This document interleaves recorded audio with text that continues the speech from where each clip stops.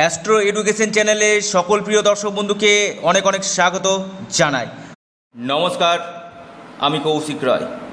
প্রাক্তন রাষ্ট্রপতি ও ভারতরত্ন ভূষিত প্রণব মুখোপাধ্যায়।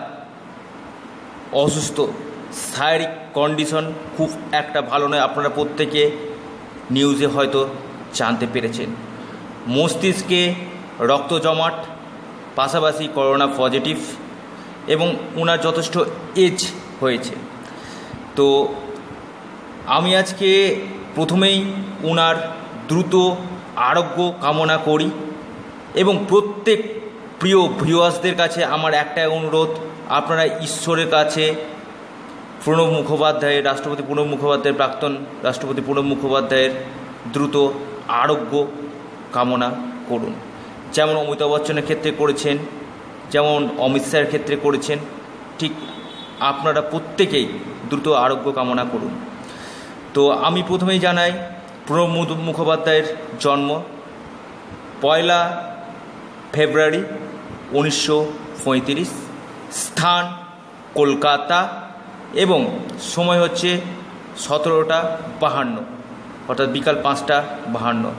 ওনার যে লগ্ন হচ্ছে কর্কট লগ্ন ধনু রাশি প্রথমেই জানায় ওনার লগ্নে কেতুর অবস্থান এবং সপ্তম স্থানে রবি এবং রাহুর অবস্থান, অষ্টম স্থানে শনি শুক্রর অবস্থান, বুধের অবস্থান এবং চতুর্থ স্থানে বৃহস্পতির অবস্থান, তৃতীয় স্থানে মঙ্গলের অবস্থান এবং ষষ্ঠভাবে চন্দ্রের অবস্থান। অর্থাৎ লগ্নপতি ষষ্ঠভাবে এবং দশমপতি এই মঙ্গল ঠিক তৃতীয়ভাবে, পরাক্রমভাবে অবস্থান করছে। এবং কর্কট লগ্নের ক্ষেত্রে যেটা হচ্ছে রাজ্যকারী প্ল্যানেট, এই মঙ্গল এই মঙ্গল এই পরাক্রমভাবে অবস্থান। পরিশ্রম কিন্তু করাবে। কিন্তু সেখানে কিন্তু এই মঙ্গলের দশাতে বা মঙ্গলের অন্তর্দশাতে যথেষ্ট সাকসেস কিন্তু দিবে। অর্থাৎ উচ্চ পদে আসীন করবে। কারণ মঙ্গল এখানে হচ্ছে কর্কট লগ্নের ক্ষেত্রে রাজ্যকারী প্ল্যানেট কিন্তু ইনার লগ্নে কেতু শারীরিক ডিস্টারবেন্স কিন্তু থাকবে। লগ্নে কেতুর অবস্থানটা মোটো শুভ নয়। এই লগ্নে কেতু ঠিক এই কেতুর পঞ্চম দৃষ্টিতে ব্রেনে অর্থাৎ মস্তিষ্কে বা মাথায় কিছুটা হলেও সমস্যা বা চোট আঘাত পাওয়ার কিন্তু সম্ভাবনা দেখা যাচ্ছে। এবং দেখুন, ঠিক সপ্তম স্থানে রবি এবং রাহুর অবস্থান। ঠিক এই রাহু কিন্তু উনাকে যথেষ্ট উঁচু জায়গাতে কিন্তু নিয়ে গেছে। আপনি উনিশশো পঁচাত্তর সালে নির্বাচন, উনিশশো একাশি, উনিশশো তিরানব্বই, উনিশশো নিরানব্বই, এই নির্বাচনগুলোতে কিন্তু উনি জয়ী হয়েছেন। অর্থাৎ এই নির্বাচনগুলোতে একে একে কিন্তু ওনার জয়যাত্রা বহাল ছিল। এই রাহু কিন্তু ওনাকে এই জায়গাগুলোতে কিন্তু আসীন করেছে। রাহুর দশাতে ওনাকে যথেষ্ট একটা উচ্চ পদ দিয়ে আসীন কিন্তু করেছেন কিন্তু এখানে প্রবলেমটা কি হচ্ছে আমি আপনাদেরকে জানাই। দেখুন ওনার যেমন এই দশমপতি তৃতীয়ভাবে পরাক্রমভাবে বসায়, অর্থাৎ এক্ষেত্রে যেমন রাজ্যকারী প্ল্যানেট মঙ্গল, ঠিক উনার এখন বর্তমানে দশা চলছে শনির মহাদশা এবং রাহুর অন্তর্দশা। এই কর্কট লগ্নের ক্ষেত্রে শনি হচ্ছে অতি মারক।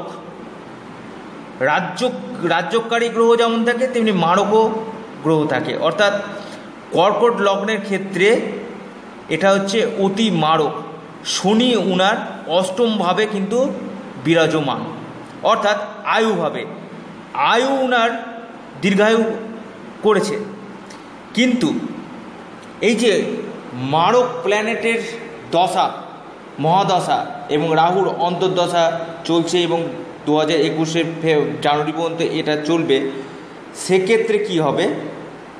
এই যে ক্রিটিক্যাল পিরিয়ডটা কিন্তু শুরু হয়ে গেছে।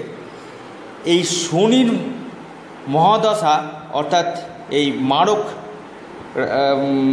শনির মহাদশাতে এখানে কিন্তু সমস্যা কিন্তু তৈরি করেছে এবং তার সঙ্গে রাহুর অন্তর্দশা। এবং আমি আপনাদেরকে একটা ডেট বলছি যেটা কুড়ি থেকে পঁচিশ তারিখ অবধি, কুড়ি থেকে পঁচিশের মধ্যে মানে বিশেষ করে কুড়ি তারিখটা আমি জোর দিচ্ছি। এই টাইমের মধ্যে কিন্তু ক্রিটিক্যাল একটা সময় কিন্তু থাকছে। এই সময়টা কুড়ি থেকে পঁচিশের মধ্যে যদি টাইমটা কাটিয়ে উঠা, উঠতে পারে, সেক্ষেত্রে কিন্তু কাটিয়ে উঠে গেলে এক্ষেত্রে অনেকটাই বেটারমেন্ট ফল কিন্তু দেবে। একে তো ওনার যথেষ্ট এজ তার সাথে ব্রেনে চোট পেয়েছে রক্ত, মস্তিষ্কে রক্তক্ষরণ। এবং তার রক্ত জমাট বেঁধে গেছে এবং তার সাথে সাথে করোনা পজিটিভ। মানে চারিদিক থেকে একটা সমস্যা সৃষ্টি হয়েছে। আমি আবারও বলছি, এই যে এটা হচ্ছে এই মারক দশা মারক দশা চলার জন্য কিন্তু এই এই সমস্যা কিন্তু তৈরি হয়েছে। তো এই ক্ষেত্রে দেখা যাচ্ছে যে প্রণব মুখোপাধ্যায়ের যে জন্ম সময় যেটা আমি পাচ্ছি, আপনারা প্রত্যেকে ঈশ্বরের কাছে প্রার্থনা করুন, কামনা করুন। এই প্রণব মুখোপাধ্যায় যেন খুব সহজে, খুব তাড়াতাড়ি সুস্থ হয়ে উঠে আরোগ্য কামনা করুন। আমিও ঈশ্বরের কাছে দ্রুত আরোগ্য কামনা জানাই। উনি যেন খুব দ্রুত সুস্থ এবং স্বাভাবিক জীবনে ফিরে আসে। তো ভিডিওটি এ পর্যন্তই। নমস্কার, ধন্যবাদ।